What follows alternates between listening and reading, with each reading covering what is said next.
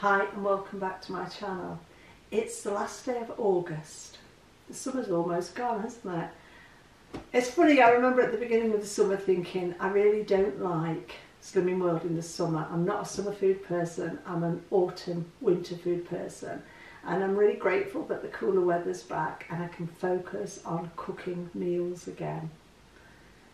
Right, something I've been very much looking at for a wee while is the law of attraction. Now, many years ago, being involved with AA as a 12 step program, but using it as a weight loss program, I learned a few phrases that really helped me. One was act as if, the second one was fake it to make it, and the third one was believe and receive. And all of these things I think are linked to the law of attraction.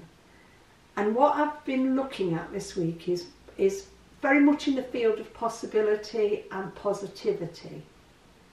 So, not believing that I have to stay where I am in any particular thing, believing that I have the power within me to change things. And I've always said that the, one of the biggest things against me with regard to weight was that I believed I would always be fat. I used to say things like, I'm never going to lose weight, I'm always going to be fat, this won't work for me.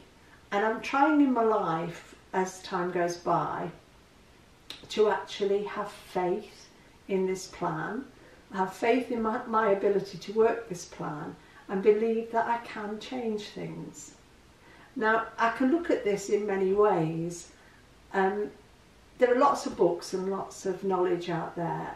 A, a book I've been reading this week is a book called The Science of Getting Rich. And it doesn't just mean rich as in money, it means rich as in a better quality of life, rich as in um, the rewards, reaping the rewards of my actions and stuff like that. And I was thinking about it when I was lying in bed this morning and I thought you can apply this to weight loss.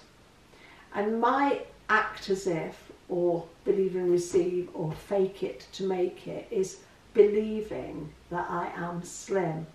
Because I have no visual um, reminders of my size, I can't look in a mirror being blind. I can't look in a mirror and see this size 10, 12 Jane or whatever and believe that that is me.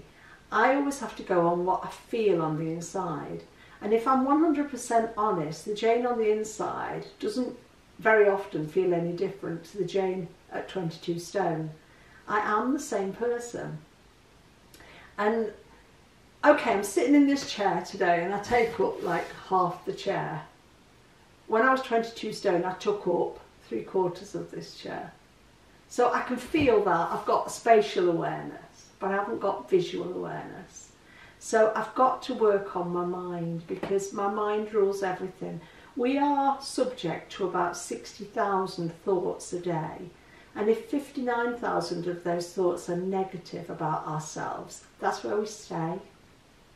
Now, something I was listening to on a, on a vlog the other day about the law of attraction was saying that say you're living in a house and that's not the house you want to be living in. You want to be living in something with more space, something with more light, maybe more bedrooms, maybe a house you own, not a house you rent.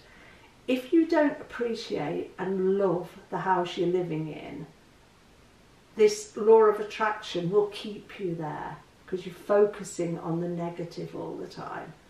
And I think the same can be said about your body. Your body is a vessel, isn't it? It's a vehicle to get you from A to B. Your home is a dwelling place, it's a vessel. Your car is a vessel, a vehicle to get you from A to B. And if you've got a car which is a bit of an old banger, and I'm not being judgmental here because our car's 14 years old, but she's not an old banger, we look after her. Although Richard does remind me she needs cleaning. Um, it, on the outside, the inside she's perfect. But if, if you've got an old banger and you know that you could do with a better vehicle, a more reliable vehicle, a more comfortable vehicle, unless you actually focus on appreciating the car that you've got, the car that gets you to A to B, and actually respecting it and looking after it, then the law of attraction will never attract to you a better vehicle. So I've been looking at that this week with regard to my body. Unless I appreciate the vessel I'm in and become a person who can love the body I'm in, then I'm always going to be battling against it. Now, most of the time, I, I do appreciate the body I'm in. I appreciate what it can do for me that it never used to be able to. You know, like sitting comfortably instead of sitting somewhere feeling like a beach whale. I can sit like this. I used to see people do this and think, God, I can't do that. My belly gets in the way, my legs are too fat, my boobs get in the way. I can comfortably sit like this for hours now when I'm reading. I can quite comfortably sit like this. Before, I would have been like in the chair because I just didn't have a body that allowed me to cross my legs and comfortably cross my legs. I, it, when I was big, I'd cross my legs and my leg would be like that because my bottom leg was up here somewhere and this leg was massive. And appreciating what I've got today and being grateful for it, specifically being grateful for it, I think helps my journey no end. It helps me to focus on where I want to be in a positive way rather than focusing on where I am in a negative way. I was talking to a lady in group this morning who needs to lose a pound and a half to get into the next stone bracket. And she's been hovering around there for weeks and weeks and weeks. And she gets within half a pound of being where she wants to be. So she gets bang on that stone. She can't get below it. And we were talking this morning. She kept saying, I'll never do it. I can't get there. It's not for me. Maybe I should call Target now. Although she knows she wants to lose at least another stone. All of those things are negative. And what we focus on, what we think about, is what we get. And I just, it's like um, in the book I was reading and in a film I watched this week, they were actually talking about treating the law of attraction in effect a bit like a genie's lamp. So, you know, in Aladdin, he rubs the lamp and he gets three wishes. Well, the law of attraction dictates you can get as many wishes as you like. It's not a limited thing. It's the law of quantum physics which is way, way, way above my head. I didn't even do science and biology properly at school, so quantum physics is beyond me. But the law of attraction says that what you desire, what you believe, you can attract. So I was trying to explain to this lady this morning without being clever clogs that if you believe you're never going to get there, if you believe it's not for you, if you believe this is as far as I can go, keep doing that because that's all you'll ever get. If we want to get something different, we've got to behave and believe differently. And that's something I'm, I'm kind of studying at the moment and finding so interesting. I was trying to explain it to Joe when we were walking yesterday, and the way I was wording it, it kept coming out as kind of the total focus being finance. That's not what it is. It's not about money. It's not about getting more into the bank and it's not about having so much more that you can fix the world because you think you've got enough money to put everybody else's lives right. It's about believing for yourself. So this week, this past week just gone, this forthcoming week, I want to believe wholeheartedly that I am going to have a weight that starts with an 8, which is where I want to be. It's my happy place is to be between 8 stone 11 and 8 stone 13. I know when I'm there that that's where I'm meant to be. I know that gives me a BMI of about 23. My BMI is currently 23 and a half, so I'm, I'm almost there. But to act as if, to believe and receive, to fake it, I am going to go around this week believing that my weight starts with an 8. Now, I'm not that very far away. It's achievable. I know it's achievable because I've been there and I've done it. And I've done it for a sizable portion of my target membership. So, yeah, that's something I've been looking at this week and thinking about. Now, some funny things have happened to me this week because I believe of this in this power of attraction. Um, just yeah, a week yesterday, um, a the day before, Joe had paid a cheque into my bank from his building society. And I did my banking on the Friday morning and the cheque had not gone into my bank. I have um, an advanced bank account where checks clear within six hours. And I thought, this is odd, this has been 24 hours, no sign of the cheque. So I rang my banking people and I said to them, this doesn't usually happen. if I pay a check in or somebody gives me a check and I pay it in or like Joe gave the building society check, paid it in, it clears within six hours. And she said, yes, it should have done. But she said, I have no trace of a cheque entering your bank account yesterday. Where did you pay it in? So I said, my usual branch, and I named the, the branch and the street it was on and the town it was in, city it was in. And she said, no, nothing showing. If it doesn't show in another six hours, ring us back because we need to put a trace on this cheque, it may be lost. Well, we've got the receipts that you get when you pay it in, so we've got evidence that we've done it. But she said, um, because of this experience, I'm going to give you £50. I'll put £50 in your account for the inconvenience. Well, it wasn't really an inconvenience. I hadn't had to go anywhere. I was sitting in my chair with the phone in my hand. But thank you. I am grateful. I show gratitude. And I did, you know, I explained to her that I am very grateful. That was a really um, kind gesture. And then I went to group on the Saturday morning and jokingly said to um, Kelvin, I bought my raffle tickets that I always buy, and I jokingly said to Kelvin, oh, I'll have raffle tickets today because I'm going to win. And I believed it. I didn't just say it, it came out of me and I believed it. Well, there were two raffle prizes last Saturday. One was a £15 value-wise um, basket of fruit, and one was a £15 value-wise basket of vegetables. The first ticket that came out, Naomi said to me, it's yours, Jane, you've won. So internally I'm doing that, thank you, thank you, thank you. And you feel a joy and an excitement. And okay, I said to her, Naomi, please draw it again because I did all my shopping yesterday afternoon. I've got enough fruit and vegetables to last me the week, or as far into the week as we need to go with fresh stuff. And I knew it would be wasted. So she drew it again, and there's a lovely couple in my group, and they won it. And the guy was like, thanks, pet, that's really sweet of you. So Naomi went to draw the raffle ticket for the second basket, and hey ho, I won it again. So I said to her, uh, likewise, I can't use it. I, I hate to waste good food. Let me nominate somebody, I would like to have it. And I nominated a young, a young girl in group, and she was thrilled to have it. Those kind of things, if you buy raffle tickets, I suppose lottery tickets if you're into that sort of thing, if you buy anything like that with the belief that I never win anything. Because we have people in group who will say, buy raffle tickets every week. I've never won a raffle in my life and I never will. I have a friend who I love dearly and her favourite quote is, if there was no such thing as bad luck, I'd have no luck. And she's such a funny lady. She's so witty and so clever. When she says that, we always laugh. But does she really believe that? And is that what she's attracting to herself? Anyway, so that was that. That was my HSBC check, my two uh, my HSBC gift, my two raffle prizes.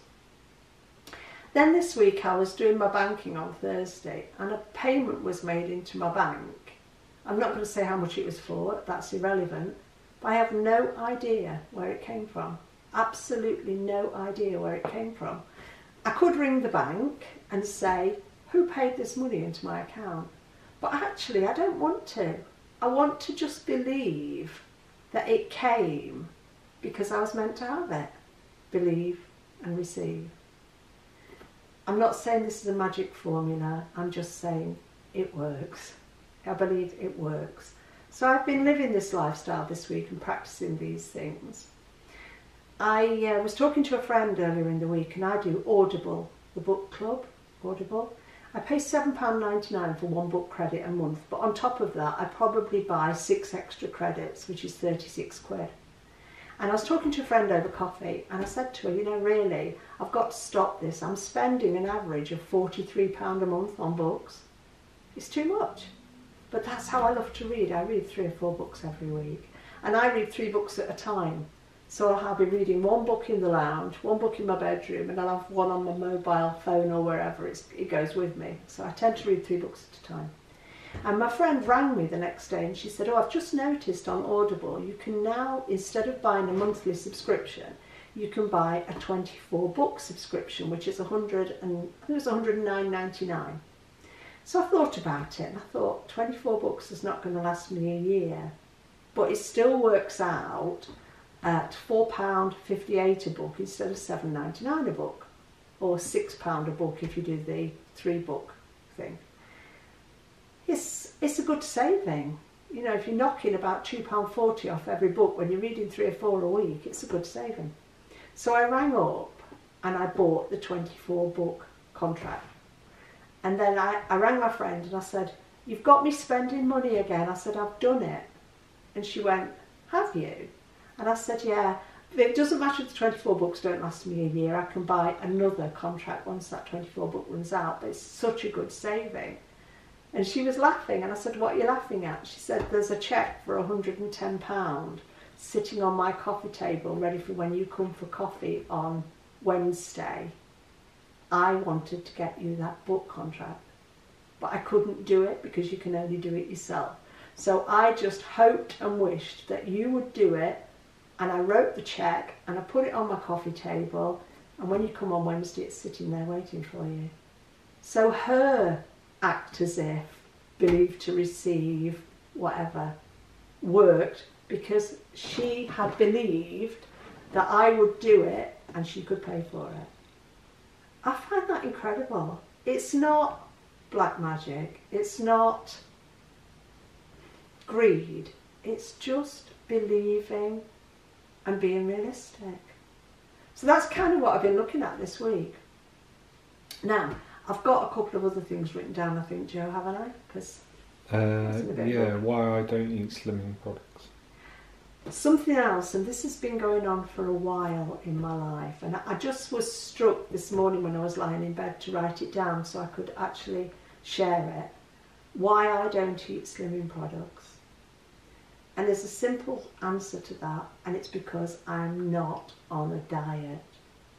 And I, I find that if I focus too much on looking at foods that are low, low syn, low, low calorie, fat free, um, full of additives and um, sweeteners, all those things that are specifically marketed at slimming products, at weight loss products. I don't do very well on them. They just don't suit my body because they remind my mental state continually you're on a diet, you're on a diet you've got to lose weight, you've got to lose weight. Now, months and months ago, when I used to go walking 50 odd miles a week to um, specifically lose weight, I had this little mantra, didn't I, Joe? Can you remember? Yeah. What I used to chant? He'll tell you. What did I used to chant? Is it got to walk, got to lose weight? Yeah, every step I took, got to walk, got to lose weight, got to walk. And it was like a mantra. And I absolutely convinced myself that to lose weight I had to walk 50 plus miles a week. And on the weeks I couldn't walk that far, my mental state was dire. So now I don't do that. Now I walk when I can walk, and I think this week I've had three walks. Yeah. Because you've been at work and things. So I have not walked every day, and I do not worry about it. Because I'm never a person who just sits on my backside all day. I can always find a job to do. I was up a ladder yesterday doing my top, top cupboards out. When I say in my top cupboards, my all of my kitchen cupboards have got three shelves at the top because they go right up to the ceiling. I can't reach the second shelf without standing on something because I'm five foot two. So I have to get the step ladders out to go up to the top. And I had this overwhelming urge yesterday, empty the cupboards, wash them all out, put the stuff back so you know where everything is. I don't, when Joe's out, when he's at work, when he's at the gym, whatever, I don't just sit and wait for him to come home. As a blind person, I could do nothing. I could actually do nothing. Because sometimes things feel like hard work. So the old me used to procrastinate and do bugger all. This me wants to be moving, wants to be active. I'm in the habit of changing the beds twice a week, and my mum says to me, that's not necessary. I mean, she changes her bed every Monday. she cleans the windows every Tuesday. She washes the shower curtains every Wednesday. My mum's obsessed with housework, but she's got a beautiful home. Oh, it's not necessary to change your beds twice a week. Why not? I've got the time, I've got the energy, I've got the enthusiasm, and I love to slide into a clean, fresh bed at night. All my bedding is white, and I have it in my head that unless I keep it clean, it's all going to look very grey. So things like that, you know, I want to live an active life, but I don't want my active life to be something that becomes a burden like I've got to walk, I've got to lose weight, I've got to walk, I've got to lose weight. Because then I'm acting as if I've got to walk, I've got to lose weight. I'm receiving that same signal continually, Jane, you haven't walked far enough this week, you don't deserve to lose weight. When the bottom line is, it's down to what I put in my mouth. Okay, what those scales say on a Saturday morning, but not allowing all of that to be a barometer of how I feel. So I'm, I avoid things with artificial sweeteners in because I am firmly convinced that chemically artificial sweeteners work on my brain in exactly the same way that sugar does. And I am firmly convinced that physically artificial sweeteners work on my body in exactly the same way that sugar does. I know there is scientific proof out there that people's bodies react to artificial sweeteners and they release it releases insulin and you're off on that same cycle. And I've said before, sugar is my nemesis. Excuse me, I've got a hair. Sugar is my nemesis. Sugar is what brings me down. Sugar is what burdens me. Sugar is what frustrates me. I need to steer as clear of it as possible. And artificial sweeteners do exactly the same thing to me. So I know that lots of people swear by skinny syrups and things like that. That doesn't work for me because it destroys my mental ability to think clearly, to act energetically and to be willing to change. I don't want to be stuck in a sweet cycle. I really don't. So news from group this morning. The new Slimming World meals are out tomorrow. There's one or two that don't sound too bad. They're not for me, but I think people might enjoy them if you find them convenient. The cottage pie's back. Um, the freebie with them from tomorrow is going to be six cake flavoured Muller Lights, which are now synned. But the one interesting thing that I, I'm looking forward to, um, I don't know what access I'll have to it, but on the 22nd of September, that is the week of the 50th birthday celebrations for Slimming World. And that is the week that Margaret Miles Bramwell's autobiography comes out. And she tells the story of how she started Slimming World 50 years ago in a scout hut in Mansfield with something like 50 miners' wives. And she must have been a young woman because if she's 71 now, she was 21 when she started Slimming World. And I remember Slimming World back to those early days, well, early 70s, not necessarily 69, but early 70s when it was actually called J and M Slimming. Can anybody tell me, because I can't find the information, who was J? Because M is obviously the Margaret Miles Bramwell, but I've got in my memory that the J was a Janet, but who was she? And why is she not still a part of it? I keep meaning to ask my consultant and then I forget. But does anybody know? I'm sure somebody must, because there must be people who've been around Slimming World as long as I have, back to the days of J&M Slimming. So Margaret Miles Bramwell's autobiography is going to be called something like Wild Women Do. I think it might be something like Wild Women Doing They Just Keep Doing. I can't remember exactly. But it'll be on sale in group to members for £6. But I'm assuming it will be available on Amazon and other places because surely she won't limit limit the publicity numbers, publication numbers rather, to Slimming World members, even though, you know, there are 19,500 groups and she could sell a lot of copies. I would assume it will be available on Amazon if you don't go to group. I might try and get a couple of copies to give away at the end of the month, but we'll see. So, Saturday morning, get up, do the usual stuff, go to group, thoroughly enjoy it.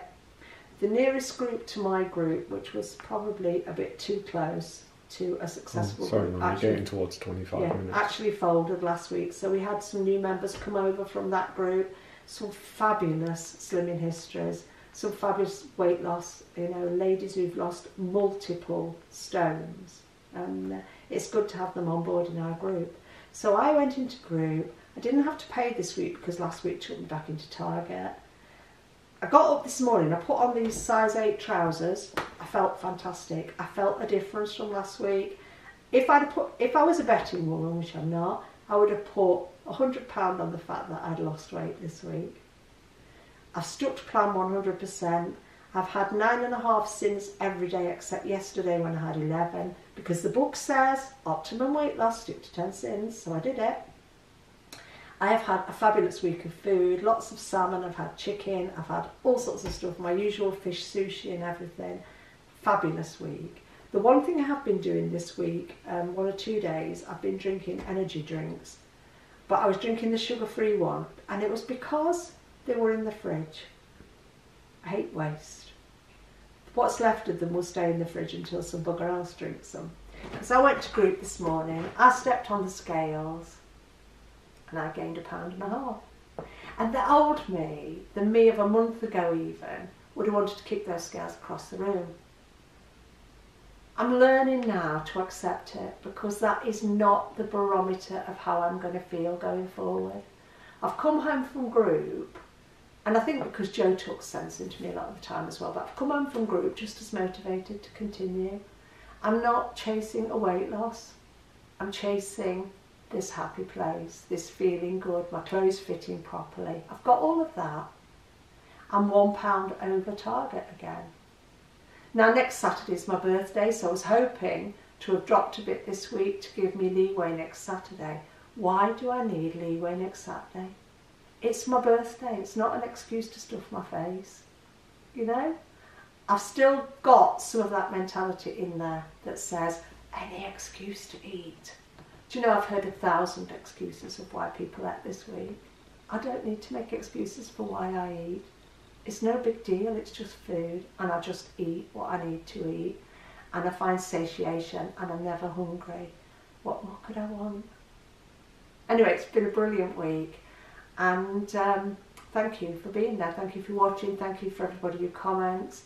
I do appreciate the fact that people add to my channel by comments. I'll be back next Saturday. Have a great week. It works if you work it. And again, it's not failure. Cheers.